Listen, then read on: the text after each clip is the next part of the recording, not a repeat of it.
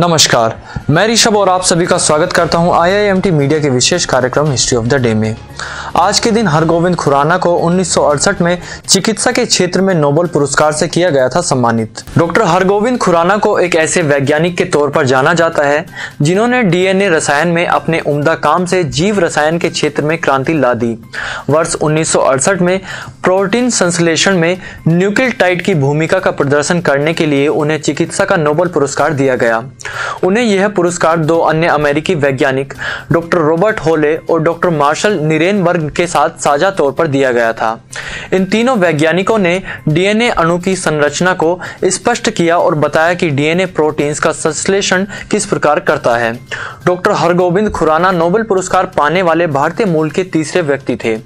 Nobel पुरस्कार के बाद अमेरिका ने डॉक्टर खुराना को नेशनल एकेडमी ऑफ़ साइंस की सदस्यता प्रदान की। यह सम्मान केवल विशिष्ट अमेरिकी वैज्ञानिकों को ही दिया जाता है। आज के दिन रॉय और वॉल्ट डिज्नी ने वॉल्ट डिज्नी कंपनी की स्थापना 1923 को की थी। द वॉल्ट डिज्नी कंपनी राजस्व के मामले में विश्व का सबसे बड़ा मीडिया और मनोरंजन समूह है।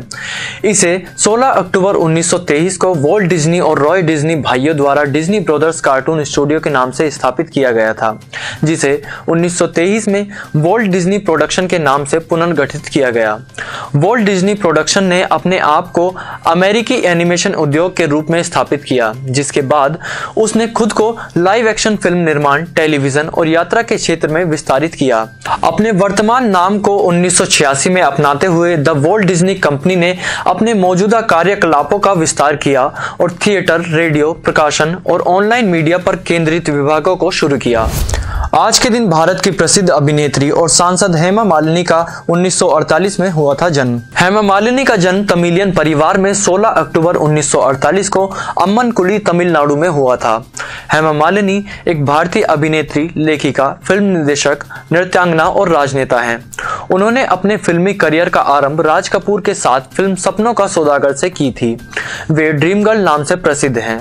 1981 में उन्होंने अभिनेता धर्मेंद्र से विवाह किया। ये अब भी फ़िल्मों में सक्रिय हैं। हेमा मालिनी वर्तमान में मथुरा से भारतीय जनता पार्टी की लोकसभा की सांसद हैं।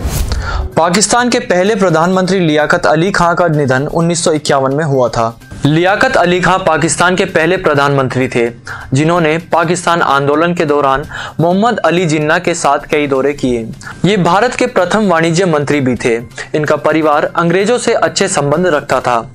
यह पाकिस्तान के प्रथम रक्षा मंत्री भी रहे हैं और पाकिस्तान के प्रथम विदेश मंत्री भी रहे।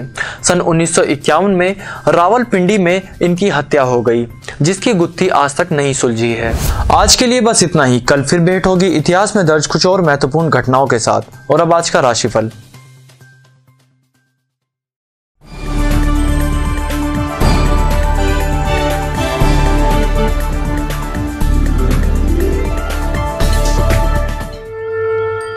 आज का राशिफल, ज्योतिष वैज्ञानिक गुरुदेव भारत ज्ञान भूषण जी द्वारा 16 अक्टूबर दिन शनिवार। आज के भाग्य की विषय वस्तु है आध्यात्मिक।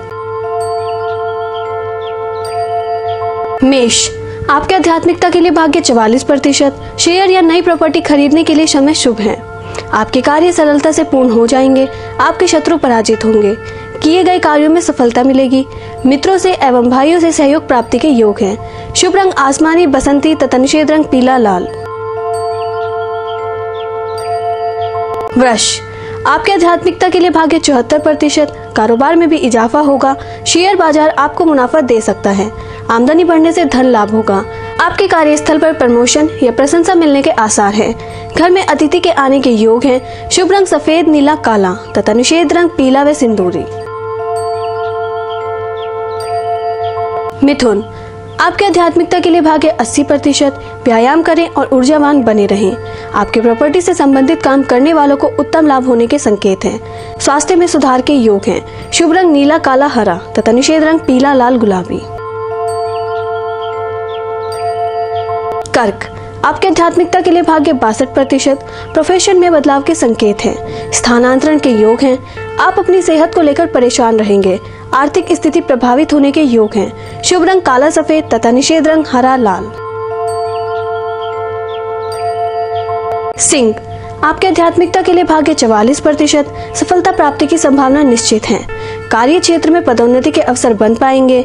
मानसिक चिंताओं का समाधान मिलेगा। यात्रा के योग बन रहे हैं। मित्रों एवं भाई बंधुओं के सहयोग प्राप्ति के योग हैं। शुभ रंग काला तथा निषेध रंग लाल। कन्या, आपके आध्यात्मिकता के लिए भाग्य उनासी प्रतिशत, परिश्रम को बौद्धिकता का साथ मिलेगा। आपकी सोच विचार में गहनता आएगी, स्वास्थ्य के प्रति सचेत रहे। कुछ व्यर्थता का अनुभव आपको हो सकता है। कार्य क्षेत्र में सफलता प्राप्ति के योग हैं। शुभ रंग नीला, काला, हरा तथा निषेध रंग लाल, पीला, सफ़ेद। तुला, आपके आध्यात्मिकता के लिए भाग्य 80 प्रतिशत नौकरी संबंधित कोई परेशानी आ सकती है। समय अनुकूल रहेगा व्यवसाय में धन निवेश के अवसर आएँगे ऑफ़िस घर सभी जगह आपके सुख कारक होगी। कार्य क्षेत्र में बाधाएँ दूर होने के योग हैं, किंतु सावधानी अपेक्षित है। शुभ रंग सफ़ेद काला तथा निषेध रंग पीला व गुलाबी। वृश्चिक आपके आध्यात्मिकता के लिए भाग्य तिरपन प्रतिशत खान पान का ध्यान रखें। उपलब्धियों के अर्जित होने का समय है। प्रतिष्ठा बढ़ेगी, बेरोजगारी दूर होकर प्रसन्नता आएगी। अनावश्यक खर्च के योग हैं। शुभ रंग नारंगी तथा निषेध रंग भूरा। धनु, आपके आध्यात्मिकता के लिए भाग्य बावन प्रतिशत। बाहरी आमदनी से आर्थिक स्थिति मज़बूत रहेगी। आवेश में आकर कोई निर्णय ना ले।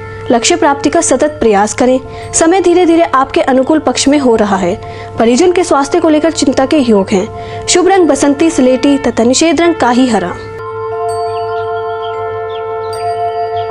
मकर। आपके आध्यात्मिकता के लिए भाग्य उनासी प्रतिशत। परिजनों से संबंधित कोई चिंता परेशान कर सकती है। डरे नहीं, अपितु अपने ऊपर भरोसा रखें।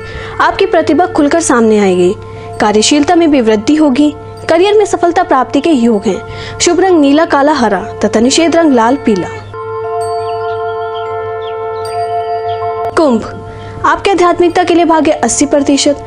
नौकरी पेशा वर्ग के लिए महत्वपूर्ण पदों पर कार्य करने का अवसर मिलेगा।